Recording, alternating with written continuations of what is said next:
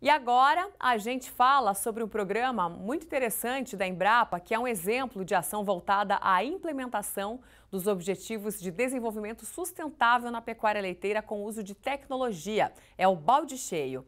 Quem fala comigo sobre esse assunto é André Novo, pesquisador da Embrapa Pecuária Sudeste, que está conosco aqui ao vivo pela internet. André, boa tarde, seja muito bem-vindo ao Planeta Campo. Boa tarde, uma satisfação poder conversar com vocês e falar um pouco sobre o balde cheio. Maravilha, satisfação é nossa. Agora, André, explica um pouquinho para a gente sobre o balde cheio, para quem ainda não conhece, né? E conta também como é que está o andamento do programa. Assim, o, o balde cheio já é um projeto bastante consolidado, né? Já faz mais de 20 anos que o pessoal está é, trabalhando no campo e a gente fazendo treinamento e capacitação de técnicos no Brasil inteiro. Né? Quem começou isso foi o Dr. Arthur Quinelato, né, que é pesquisador nosso aqui da Agropecuária Sudeste, e sempre viajou o Brasil inteiro fazendo palestras e sempre com a preocupação de não só ir fazer palestras, mas treinar as pessoas de cada região do Brasil em produção intensiva de leite. Essa Legal. foi o objetivo inicial. Né? Legal. E no balde cheio, quais que são aí as soluções práticas apresentadas pela Embrapa e como que o produtor pode fazer para estar tá inserido nisso, aquele que ainda desconhece do programa? Então, a, apesar da Embrapa ser uma empresa de pesquisa, a gente não faz assistência técnica, né? Uhum. Mas as soluções que são levadas para os produtores são soluções já bastante conhecidas, na maior parte dos casos.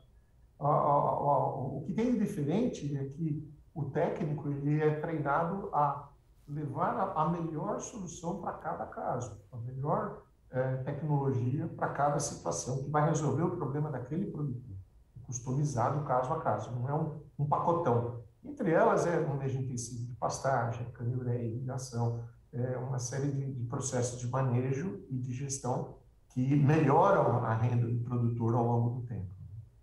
É, como você falou, esse ponto é bem importante, né? De ter uma personalização, vamos dizer assim, para cada produtor rural, porque a gente sabe que a realidade muda, às vezes, até de um vizinho para o outro, né? Imagina então de uma região, de um estado para o outro.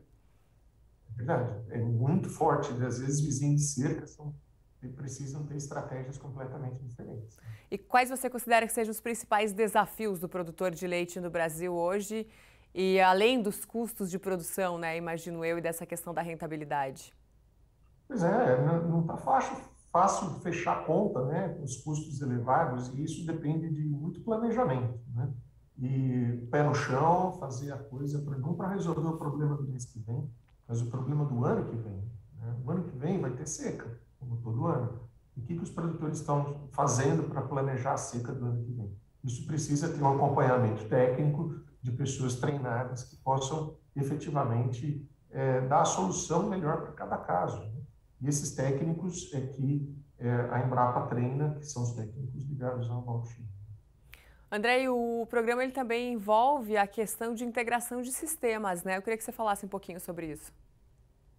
Sim, o, a, sistemas integrados são é, é, uma série de práticas, elas podem ser as mais diferentes possíveis, mas a, no balde cheio, a gente tem trabalhado muito com, a, por exemplo, a, a sistemas silvipastoris, né? ou seja, os animais pastejam embaixo de, de árvores, porque o conforto, é, o conforto térmico no país tropical é cada vez mais importante. Então, é possível você produzir numa mesma área mais leite, por causa do conforto animal, e com é, a produção de madeira de qualidade, é, ou mesmo lavoura pecuária também tem sido muito usado no Brasil inteiro, são formas de uso melhor do solo, né, sempre se preocupando de ter alta produtividade com sustentabilidade.